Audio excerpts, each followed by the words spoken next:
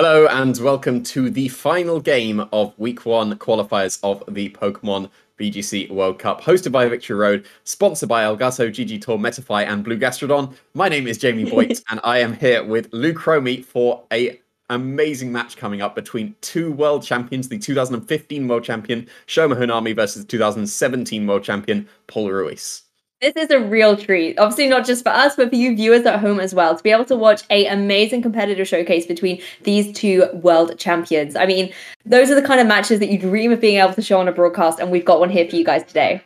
Yeah, and week one of the World Cup as well. It's yeah. not, not, like it's like right near the end where, where all, all, you would expect all the World Champions to be. This is week one of the World Cup. So, uh, what a fantastic game to finish out on. Uh, so, we can have a quick look at how uh, the teams are doing so far. Mm-hmm. And oh, it's still still anyone's game at this point. So, it's 3 2 to Japan. So, if Shoma is able to win, then that would mean that they won't be losing this week at least. But uh, yeah, it's always always really exciting when it's still all to play for.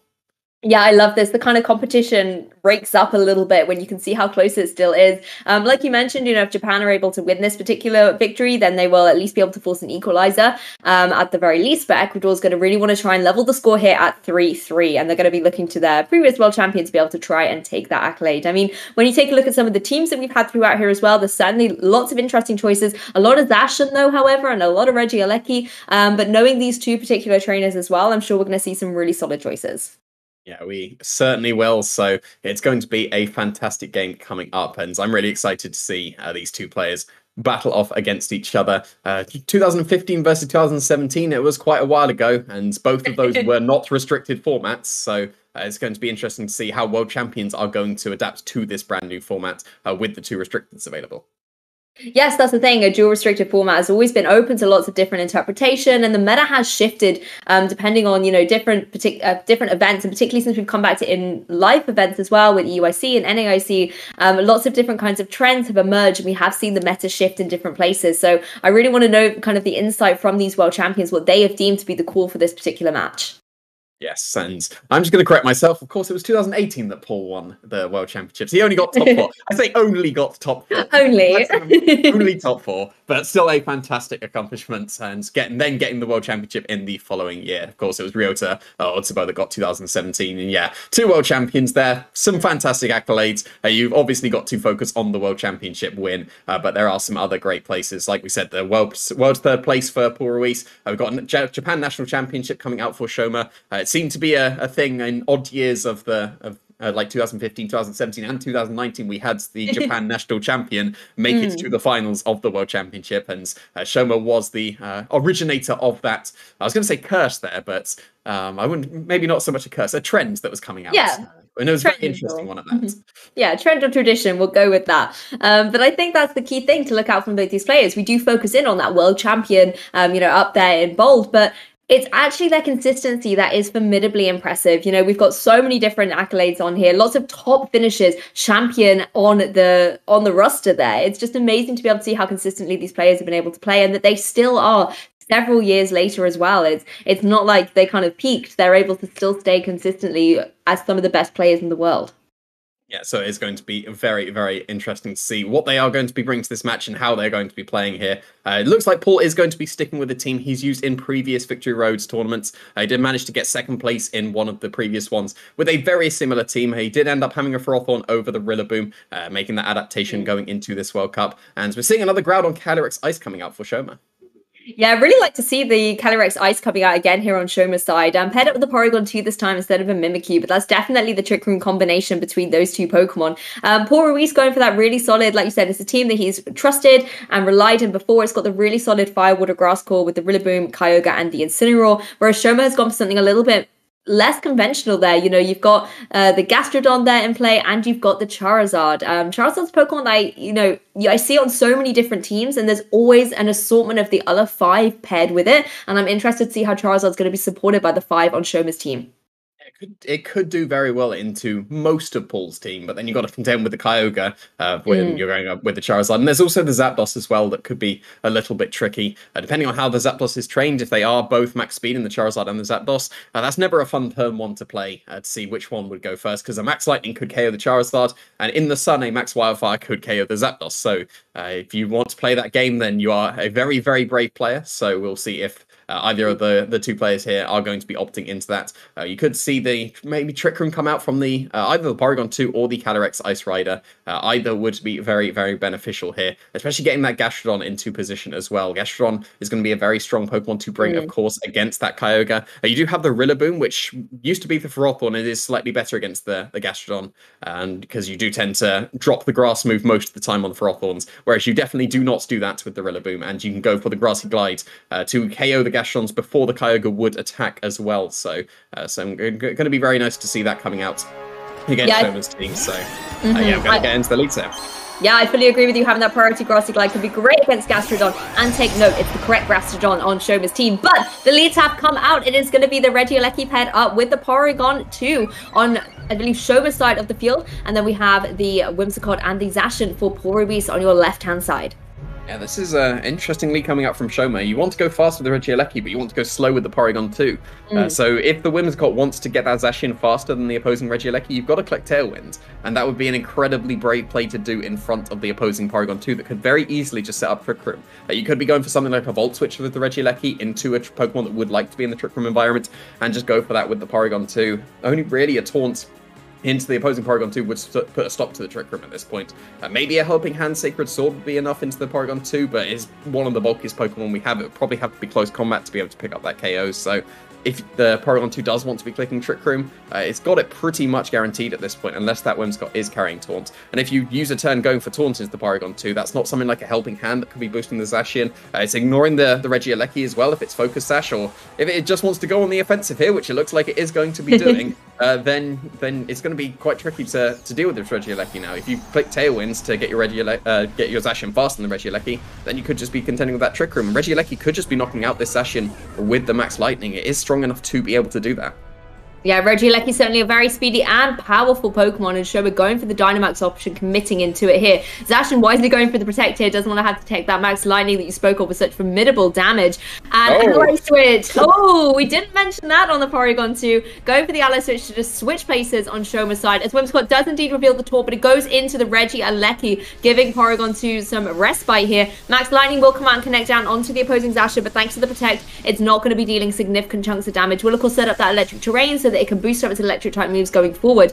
Um, I mean, the reveal of that taunt there, great that Porygon 2 was able to dodge it this time, but another taunt is going to be able to shut it down completely then do you ally switch once again, and then the Regieleki gets taunted for a second time. So Ooh. we're already turn one into this mind game of, of the ally switch mind games. So a really, really strong play coming out from Shoma's side of the field on that first turn, uh, keeping that Porygon 2 safe from the taunt. Uh, we've seen that the Zacian would have been KO'd to that damage. That looks like it's just over 25%, uh, so would have KO'd the Zacian in one shot. And now it's even stronger that the electric terrain has been set on the field. So we're still in that awkward position of you need to click Tailwinds to allow that Zacian to be able to take on this Regieleki. It won't be able to do that unless you click that Tailwinds. It's definitely in range of that attack coming out. But if you do that and the click Porygon 2 then clicks Trick Room, then you're in a really, really awkward position. And uh, yeah, it's going to be a very brave play to be able to click Tailwind in front of that Regieleki, but it would be necessary to allow that Zacian to do something. Yeah, the expertise of these world champions will be called into question here, whether they can predict these moves. The Whimsicott does go for the tailwind, boosting up the speed on Paul's side of the field, allowing Zacian to move first here and go for the powerful Behemoth Blade that's going to be targeting down into that opposing Regieleki. No ally switch here to switch it around the field, but thanks to having that kind of double HP as well, is going to be able to deal, um, going to be able to survive it. Max Lightning, however, going to come down onto Zacian is not going to be able to survive such formidable electricity, particularly with the electric terrain in play and the Zacian is taken care of and didn't do too much damage to the Regieleki. It usually does a lot more hmm. than that. And there it is. There's the Trick Room. That's one of the risks of having to click Tailwind. There was a very nice lead coming up from Shoma's side of the field uh, to kind of pin the Whimsicott. It, it had to Tailwind. So mm. now you get to, to make use of that and get into the into the Trick Room environment. So uh, really, really nicely done there. And the Regieleki is still very fast and is contending against the Rillaboom. So even if it was uh, trained pretty slowly uh, with the Regieleki and the Rillaboom does outspeed it in the Tailwind, it wouldn't really matter because you can still go for the Grassy Glides.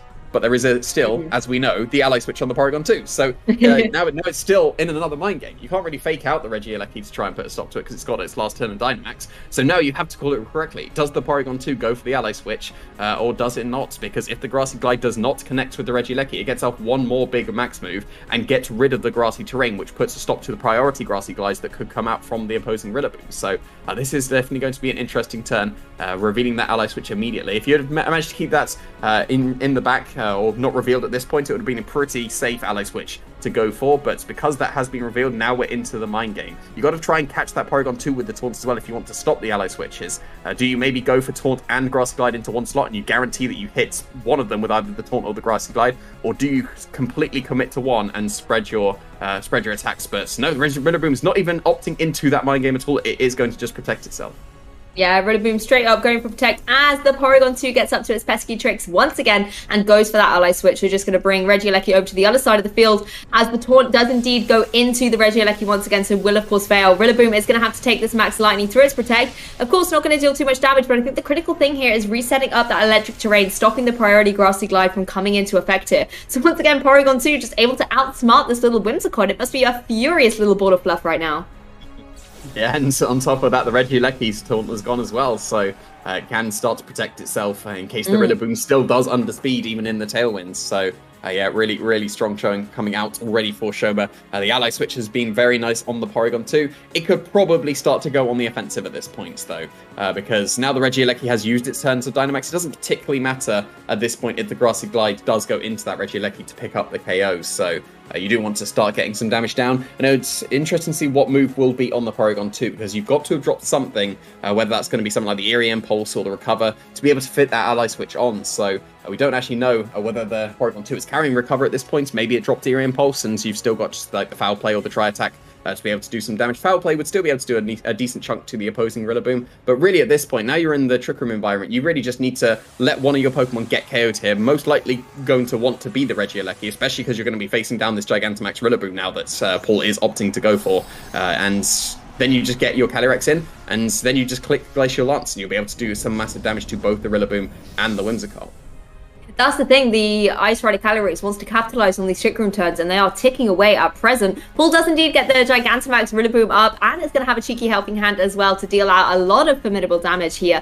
Uh, it's going to be wow. a speed swap, though, from this Porygon 2. This Porygon 2 is pulling all the tricks out of the bag here, and it's going to be able to allow that Regieleki to go first as it goes for the that's rising voltage. I mean, that's amazing. Kind of going, hey, Regieleki, you're going to be in a bit of trouble here. Let me give you my speed so you go first in Trick Room and capitalize on the electric terrain in play. Unfortunately, Unfortunately, Porygon 2 is going to have to take a big critical hit with the helping hand boost as well and will be KO, but it has certainly done more than its fair share in this game one. Wow, what a Porygon 2 set. Speed Swap and Ally Switch and, mm-hmm. and both of them being incredibly impactful in this game. That speed swap, that was some huge damage into the Rillaboom because the electric terrain is up over the grassy terrain. Rising Voltage has its double power, so that was massive damage. That is very much in Glacial Lance range at this point. point, and now that you committed to the Dynamax, you can't go for any priority grass, grassy glides, even if the grassy terrain was on the field. And mm. you'd have to switch out the Rillaboom to be able to reset that. So that would be a Kyogre switching in to a potential pretty slow Regieleki going for a Rising Voltage in electric terrain. So uh, this is a fantastic position for Shoma. Some very, very cool text coming out from that Porygon 2. Uh, you've got to assume there is some kind of offensive move as its fourth, because we've seen three of the moves now. Uh, it's probably going to be something like the Foul Play or the Tri Attack. Maybe the Ice Beam as well, but what a Porygon 2. So impactful in this game. And the Regieleki has done so much more work than it has ever deserved to because of the two ally switches, keeping it safe from the attacks, because of that speed swap, allowing it one more attack uh, in the terrain. The Rillaboom just has to protect itself from this Glacial Lance because it would just get, get KO'd otherwise. Yeah, the Regieleki is going to go for that rising voltage again. Finding its mark onto that Whimsicott that's finally going to have to take some damage and go down to its focus sash. So leading itself in a very precarious situation if that Glacial Lance is going to be followed up. Regieleki as well will KO itself to its Life Orb recoil, but it has certainly put in a ton of work in this game one as the Calyrex is able to follow up with Glacial Lance. We know this is going to be able to remove that Whimsicott from play and the Wise Protect there from Paul Ruiz on the Rillaboom. But again, I just don't know what going forward the Rillaboom's going to really realistically be able to do to that opposing Calyrex. I mean, the Porygon 2 just was so disruptive, and it even had the audacity to get itself KO to allow the free switch in for the Calyrex. And, and now the Rillaboom it's done its turn of max guard, it'll have to go for the double max guard to uh, stop itself being KO'd to that Glacial Lance. Uh, one nice thing for Paul um, on this turn though is that Trick Room is still up. You would assume that the rain's going up this turn. That tends to be how Pokemon are trained. Yeah, the Groudon is going to set the drought first, so that means we will get the drizzle. So if the Kyogre is able to survive this turn, it will be able to get some rain boosted attacks off. Uh, but it's going to have to take the Glacial Lance and assumedly a Precipice Blades as well. So now it can't go for the Dynamax. That combination might be enough to pick up the knockout on the Kyogre, uh, depending on how the, the Pokemon are trained. But even if it is able to survive, it won't be able to go for a Water Spout. It will have to commit to the Origin Pulse, and that wouldn't be enough on the opposing Calyrex. You'd probably need two of them. So uh, you probably got to just try and stall out this Trick Room turns. If you do manage to make it through, you can go for a full power Water Spout, uh, but no double max guard oh. coming up the Rillaboom. Yeah, this is the last turn of Trick Room, so Paul playing really on the defensive, does get the protect obviously on the Kyogre, but that Rillaboom is very exposed to this Glacial Lance. The Calyrex is already at plus one thanks to KOing that Whimsicott, and now we'll be able to get to plus two since it has KO'd the Rillaboom as well. So even though we look at situations normally and Ice Rider Calyrex isn't really capable of dealing with Kyogre in too much of a capacity unless it starts steamrolling up these boosts. It's now at plus two and compared up with that Groudon that's going to be able to go for this Precipice Blades, um, possibly if it can get the damage in the next turn, um, then it's going to be able to deal with Kyogre. Yeah, I think it's going to come down to whether this is an Assault Vest Groudon or not, because if it is, that's still going to get KO'd in the rain. Uh, if the Groudon is able to protect, it can go for the Protect and the Trick Room, assumedly on the Calyrex. Calyrex is bulky enough to survive this Water Spout that can come up from a Kyogre, because we've seen it go for the Protect. Uh, it can't be stronger uh, than a Mystic Water or a Life Orb at this point. Uh, so yeah, there is there is there is no Assault Vest on the Groudon. It does have access to Protect, and that is very crucial here, because assumedly this Calyrex is going to be able to survive and get that Trick Room up once again. Yeah, the Kyogre is going to go for the full water spout here in the rain. Does a huge damage to the opposing Calyrex, but it is able to survive this kind of ice water versus. They, they kind of neutralize at each other, don't they? There's not very formidable pressure against them, and Calyrex able to go for that Trick Room once again. So Shoma in the speed environment that he wants to be in, applying a lot of pressure to this opposing Kyogre. Yeah, it needs to be choice specs to pick up the KO on that uh, opposing Calyrex, and if it was, it wouldn't have been able to protect, protect on the last turn in Trick Room, so uh, mm-hmm. just needs to avoid a critical hit there with the Calyrex. A very safe play if you were carrying the Protect on the Groudon. Now you just need to be able to hit Precipice Blades. So you can go for a Glacial Lance, single target, or even just high horsepower. That would do some very good damage to the Kyogre. And the combination of attack of the Calyrex attacks, uh, Calyrex's attack and the Precipice Blades would KO this Kyogre. Now you've just got to uh, see if your attacks are going to connect. Glacial Lance definitely will, or will the Groudon be able to land that Precipice Blades as well? Yeah, we'll have to find out on the next turn. Protect, obviously, just going to block the attacks in this particular turn. I mean, you say all you've got to do is hit a Precipice Blades like it's the most casual thing in the world, Jamie, but we all know that has been the undoing of so many victories across Pokemon lore. Yeah, absolutely. It's incredibly shaky accuracy. Uh, but then you've got to go for your own shaky accuracy in the Origin Pulse. You won't be able to go for Water Spout because the Glacial Lance is going to guarantee damage onto this opposing Kyogre. And it's got a, got a boost as well behind it. It's now single target, even though it's resisted. This is going to hurt. Oh, it does so damage. That's painful to watch. Only 26 HP remaining. Precipice Blades does connect and will be able to pick up the KO, meaning Shoma is going to be able to take game one in this Ecuador-Japan showdown. Yeah, that was a crazy set coming out in that first game, and much closer than it uh, seems like it would be after such a fantastic first few turns uh, coming out for Shoma. All of the mm-hmm. techs now revealed. You've got the speed swap, you've got the ally switch. Both were incredibly impactful in that first game. Uh, ally switch keeping that Regieleki really safe, going to be able to make all three use of its Dynamax turns, and then even go for another rising voltage out of uh, terrain in Trick Room thanks to that speed swap. So a very, very cool Porygon 2 coming out here. we've seen so many Foul Play Eerie Impulse sets on the Porygon 2 that you can really, really catch your opponent off guard with some really, really cool techs in that speed swap and ally switch. Yeah, I mean, I've never seen a Regieleki piloted so well in Trick Room. Um, it was really, really cool to see that. But I think if you're Paul now, you're going to be able to call on all your wisdom and your experience and think, hey, what's the information I've learned from this game one? How can I adapt going into game two? And at the same time, on Shoma's side, you've already revealed a lot of the cards that you have. So you have to maybe think, what cards have I still got to show? What tricks have I got up my sleeve? And also think, how is Paul going to adapt to this? How can I maybe play a little bit differently to still throw him off his guard a bit?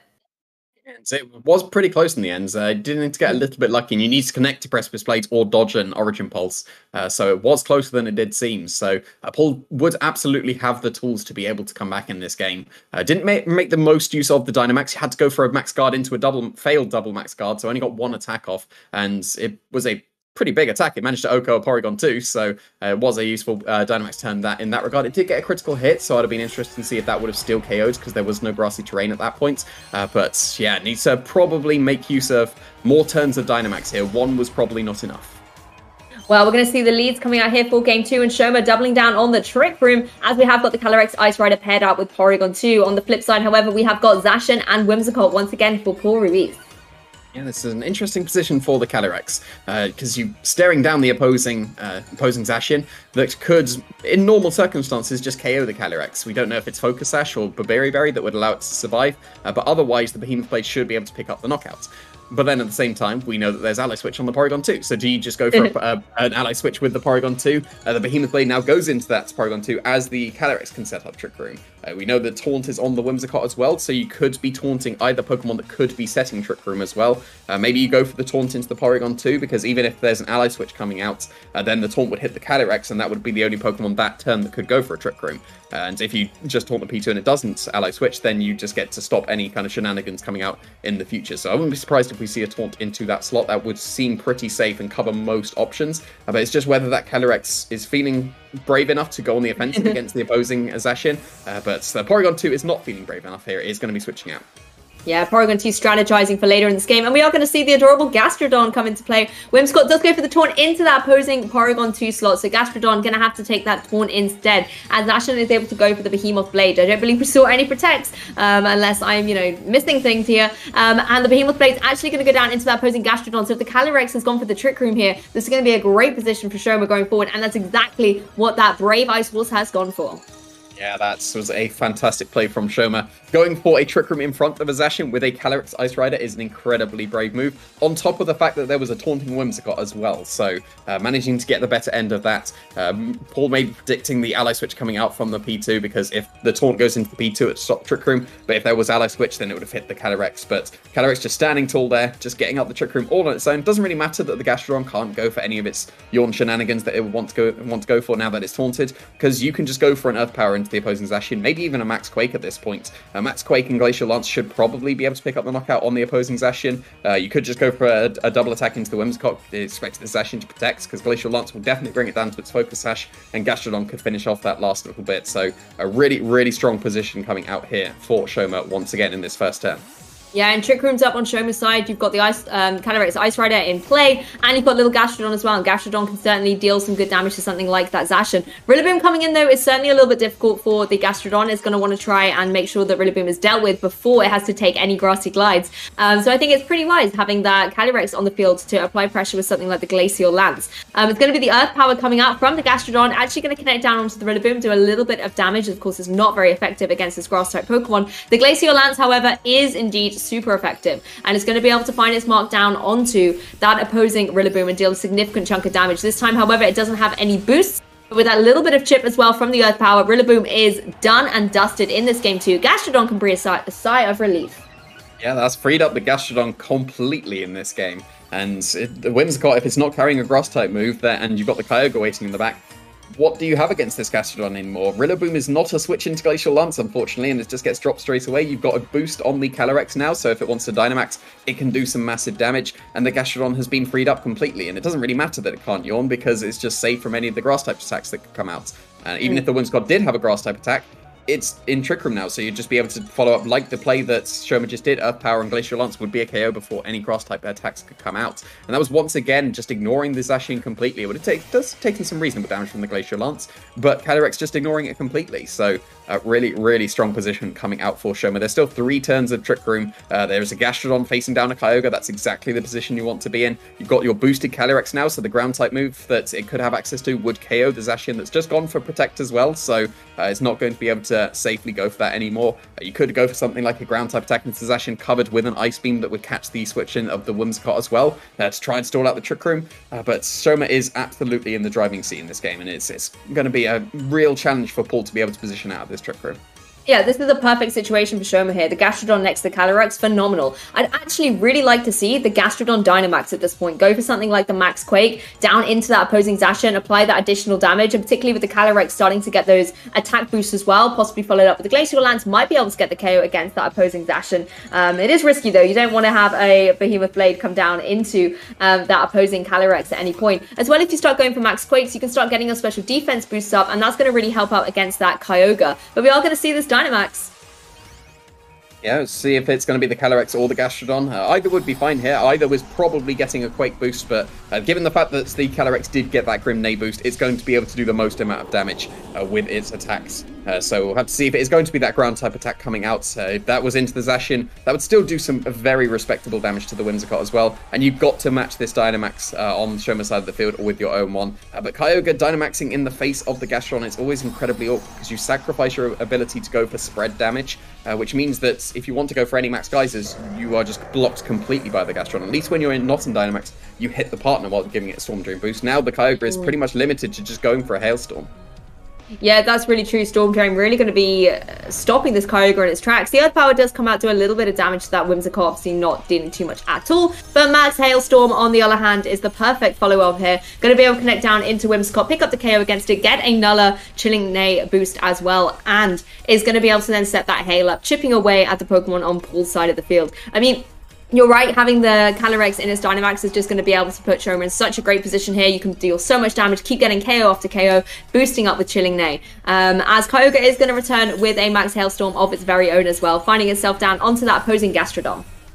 Yeah, that was respectable damage. That's going to be a two-shot, uh, but Shoma just covering the bases completely. If the Zacian stays in, uh, the Earth Power and plus one Hailstorm is probably still enough to KO the Zacian at that point. And as we saw, if the switch into the Whimsicott happens, then that just gets KO'd, and that's another boost to the Calyrex, uh, which should be able to just take care of this Kyogre and the Zacian, because there's two turns of Trick Room left. You need some double Protector or double Max Guards coming out uh, for Paul's side of the field at this point. And even if you get out of Trick Room, you still need to contend with a boosted Calyrex and a Gastrodon that uh, is going to be able to start yawning things very shortly because the taunt should be running out. So uh, this is a, just a fantastic position for Shoma, and they've still got the Pokemon waiting in the back as well. You've still got the Porygon 2 and presumably the Groudon uh, waiting in the back to overwrite anything. If the Kyogre manages to get the rain back up, then you've always got the Groudon to be able to switch in uh, once again. But this is just a still a fantastic position for Shoma, uh, going to be able to just do any amount of damage that they want to do. If they double into the Zacian, going to be able to do some uh, very good damage, enough to knock out for sure.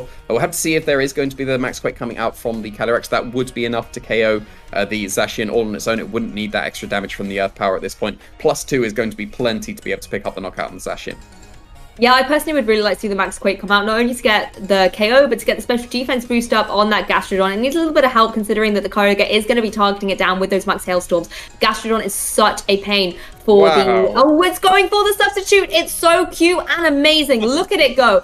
I said it needs a little help and gastrodon's like no lou don't be so rude. I got this. I've got substitute. Amazing tech from shoma here. Zacian, even through the protect takes such damage from this max quake almost taking 50% at this point. The hail might even just chip it over the edge a little bit there and getting that special defense boost up. Of course kyogre most likely going to go for the max hailstorm into that opposing um, gastrodon but it's been able to just hide itself behind that substitute and just burn through another one of these max turns yeah, I, I'm really scared for the future of Series 12 now after seeing that tech come out. That's going to be really annoying and really smart coming out from Shoma because that Gastrodon would have most likely been KO'd to that Max Hailstorm and now it's still on the field. And Substitute was probably pretty much the only move that would have done that. I guess Protect would have done it as well, uh, mm. but hmm. Substitute was just incredibly safe there. And yeah, that's that's a fantastic tech coming out from the Gastrodon. Just all these techs coming out from Shoma really, really putting him in the driving seat for sure. And you saw how much damage the Calyrex did with the Max Quake to the Zacian. It might even still KO through the Protect at this point. It's going to be really close. So even if it manages to get the double Protect up, you're giving yourself more special defense boost on the on the Calyrex to be able to take on the Kyogre really comfortably. And even if the, the Zacian's able to survive the Max Quake, it might be put in range of just a little bit of hail that can't be overwritten because the Gastron is still able to survive this turn and stop stop those Max Geysers from overwriting the hail. Well, there's Protect from the Zacian. Yawn is going to come out from the untaunted um, and sub- unsubstituted Gastrodon here into the opposing Kyogre, so it's going to be taking a nap on that next turn. As the Max Quake comes out once again, going into the Zacian, it is able to get the KO yeah. against it despite the Protect. Honestly, just the power that's coming out from Shoma here is phenomenal. Um, removing that Zacian from the field, Kyogre now in such a difficult situation where it really can't deal any damage. It can't go for any of its water type moves, particularly as they are being single targeted due to the Dynamax form. And this Calyrex is just getting another chilling neigh boost. It's going to be able to deal such significant damage. Kyogre is able to go for the max hailstorm, find its mark on this adorable little slug, and will be able to get the KO. But Gastrodon has certainly pulled its weight in this match. Yes, absolutely. That is that is some crazy text coming out from Shoma's side of the field, and it was pretty much game over after that first turn. As soon as the Calyrex uh, did not take the Behemoth Blade, uh, then it was in a position to be able to sweep. And you saw in the in the turns of Trick Room, uh, Shoma was able to just cover any play that Paul could go for. And like e- even with the expertise of a world champion behind him, there wasn't really anything Paul could do. If you switch in the Rillaboom, it's taking a Glacial Lance and getting KO'd. If you switch in your Whimsicott, it's taking a Max Hailstorm and getting mm-hmm. KO'd. So uh, it was just pins completely from that turn one. Uh, just a really good prediction coming up from Shoma that just put him in the complete driving seat. And I don't think there was really anything that could be done. Uh, even a from any player, even a world champion, probably wouldn't have been able to to get out of this position because of all the techs that were in place. That substitute on the Gastrodon just mm-hmm. guaranteed mm. there was once again no max geysers come out. That means that the hail is uh, staying on the field, no rain boosted attacks coming out. So yeah, just just phenomenal showing from Shoma. There's there's nothing that Paul could have done, even with his world champion status behind him.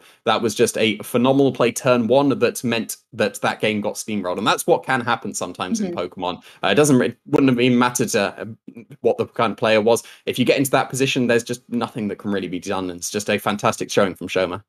Yeah, I mean, we promised you guys it's going to be an epic match, and it was amazing to be able to see the creativity and the masterful play of that creativity from Shoma there. Being able to have all these techs in your team is one thing, but utilizing them at the correct time and to gain such significance in a match is a whole separate skill. And it was amazing to be able to see him pilot that. Porygon2 was phenomenal in that game one, and in game two, it was definitely this little guy here who I think was my personal hero.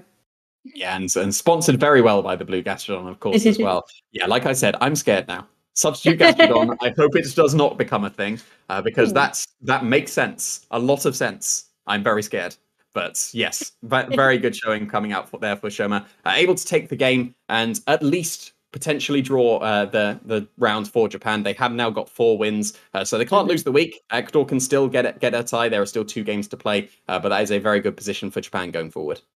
Yeah, it certainly is. And it was lovely to be able to watch two world champions battle out. Unfortunately, it didn't go Paul Ruiz's way, but it was still great to be able to see how he was adapting in that trick room environment and trying to play around Shoma's strategies. So, really great match to kind of watch if you're, you know, trying to maybe learn a little bit more about Pokemon, see how these top players are playing, and also to look at two very different teams and see the flexibility amongst them. So, thank you to both of those world champions for displaying their skills. Yeah, fantastic end to this stream. So we hope you've enjoyed uh, this week one of the qualifiers and, and, what a game to end us on. And of course, we had some, some fantastic games uh, throughout uh, this week so far. They will be going up onto the YouTube channel of VGC Victory Road. So make sure you check those out. Go and follow us on Twitter, VGC Victory Road. Join the Discord so that you can uh, t- take part in all of the community discussions. And of course, visit the website if you're curious about how any of the other matches went uh, with WorldCupVGC.com. Yes, exactly. Make sure to check out all of that action. But I think that'll be us um, from myself, Jamie, and of course Steph, who was our other commentator on this Sunday's broadcast. Thank you guys so much for tuning in and make sure to follow all those social platforms that Jamie has just mentioned to keep up on all the ongoing action at the Victory Road World Cup. Yeah, that's going to be it from us. We will see you again next week.